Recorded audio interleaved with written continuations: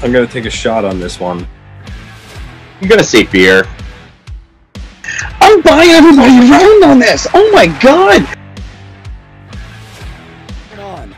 Uh, here's a bit of a controversial topic the the last couple days, but Anthony, the Islanders have mailed it in.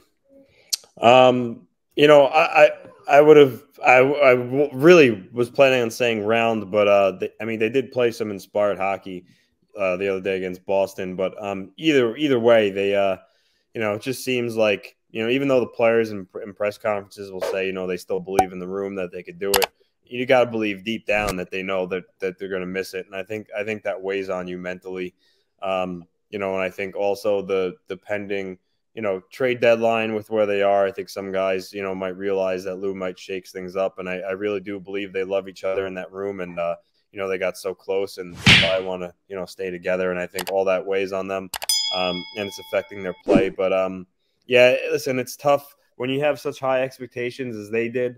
Uh, the success they had the last two years, and then you have this type of season. I, I just think it, it's you know, there's really no other way to say it. It sucks, and I, I think they feel it.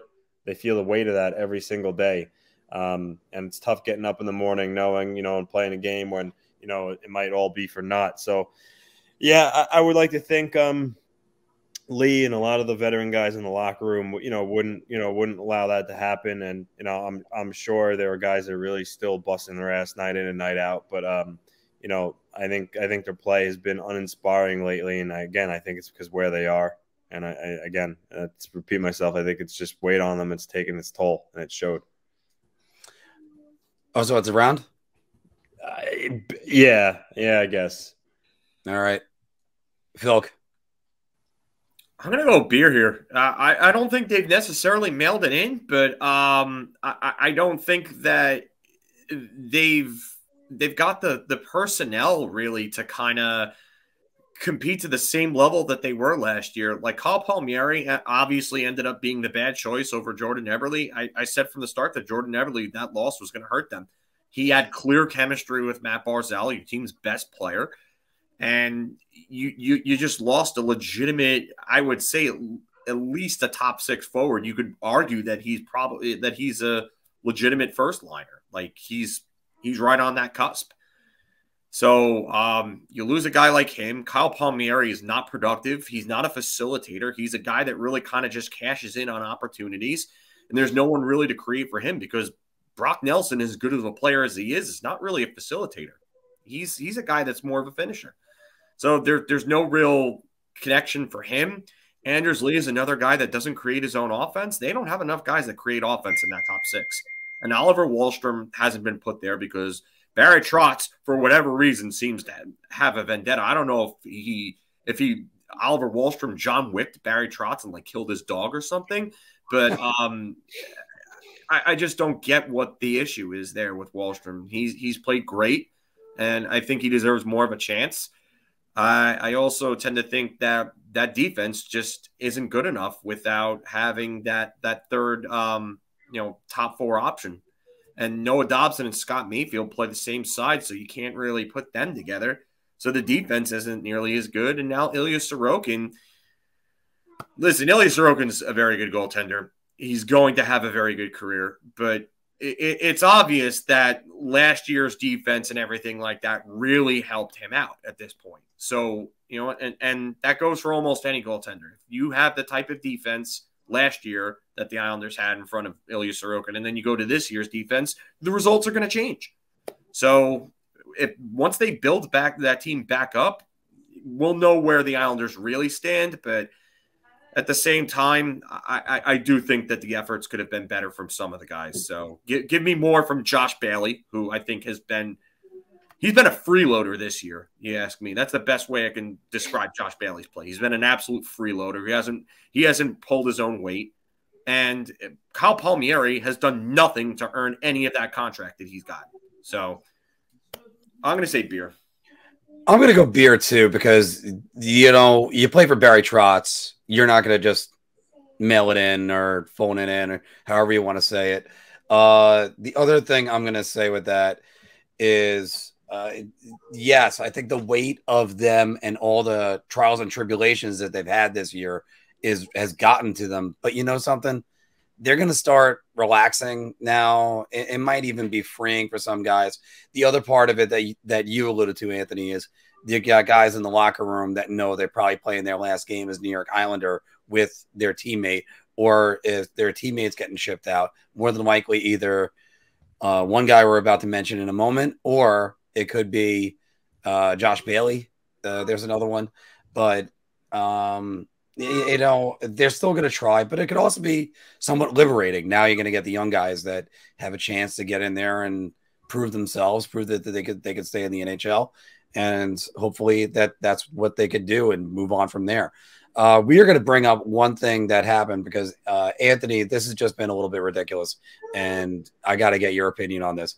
Our friends over at All Things Islanders uh, put up a post to uh, defend Barry Trotz and Lou Lamoriello because there are fans that just keep on saying, "Oh, we gotta, we gotta get rid of those guys." Like, what's your thoughts on that? Well, my thoughts are you have you have idiots in every fan base, so when things are going bad, the idiots come out and they say things like Trotz and Lou should go. Um, but yet, when you know they were one game away from going to the Stanley Cup Finals, you know everything was great. You know, so um, I don't really pay any attention to it. Um, I, I think that uh, Trotz and Lou um, are really the reason why the Islanders have had the success they've had the last three years. Um, I mean, there was there was a um, I don't know which athletic I don't know which athletic reporter did it, but there was like a, a couple weeks ago there was a poll and he he asked like executives and agents various questions from you know best arenas to play in, and one of the questions was to an agent where do you steer your where do you steer your your clients to in terms of free agency when it comes to trying to pick a place you want to you want to play. The Maple Leafs and Canadiens are one and two, uh, and then the Rangers and Islanders were both next with three votes each. Um, and that speaks volume to the culture that Lou Lamoriello has brought to the island. You know, 10 years ago, you know, the Islanders would have been at the bottom of that list. Now they're respected because of Lou Lamoriello and Barry Trotz. And then, yes, they have world class facilities now, like the Northwell Ice Center where they practice and Belmont. So um, no, these people are morons. Trotz and Lamoriello um, are are probably for my money, you know, top top three best combo in, in all of hockey when it comes to GM coach. Um, and listen, they just had a they just had a bad year. You know, that's all you can say. It's not Trotz's fault. Yeah, you criticize him for how to use Wahlstrom, and that's fair. But other than that, I mean, he's a fantastic coach. His record shows. Um, I mean, and, and Big Lou. What else? What else could you say about Big Lou? I mean, he's he's just Big Lou. Phil, uh, Phil, your thoughts, and then I'm going to hit on something that Anthony just said right there. I it just, I, I get it. Like there are times where things just go wrong, and it looks like the players tune out the coach. I don't think the players are tuning out the coach. I don't think any of this is Barry Trotz's fault. It's Lou Lamoriello's fault more than anything mm-hmm. because he made the wrong decisions with the wrong players. You you, you wanted Kyle Palmieri there. I, I said that Jordan Eberle was the guy that you did not want to get rid of. And I, I wouldn't have taken Kyle Palmieri over Jordan Eberle. I know you needed goal scorers, but you also need guys that facilitate offense. And you you shouldn't have shouldn't have done that. Um, the other thing I would say is that you did nothing to replace Nick Leddy.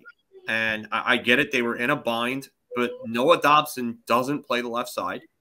You're, you're not going to put him on the left side. You're going to keep him on the right because if you ask me, he's the best defenseman on this team going forward.